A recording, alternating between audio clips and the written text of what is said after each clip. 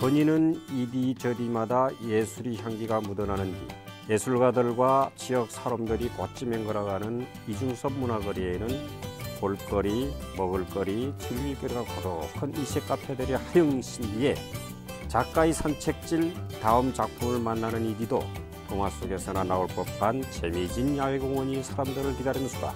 이디 신 작품 번호 37 제주 빛질 이유다.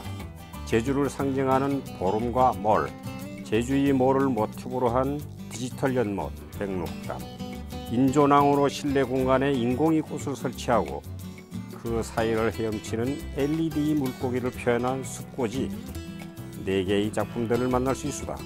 멋진 예술 작품도 감상하고 소랑하는 여인 가족 친구들과 이와기도 허멍 행복을 만들어가는 뒤 이디가 말 그대로 유토피아가 아닌가 말씀?